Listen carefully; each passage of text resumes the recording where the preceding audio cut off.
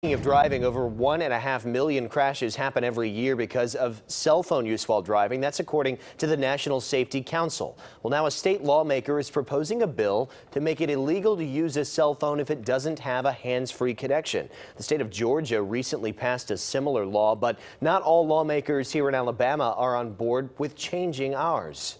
The problem is not the cell phone, the problem is the distraction. I think our ex- existing statutes cover the problem.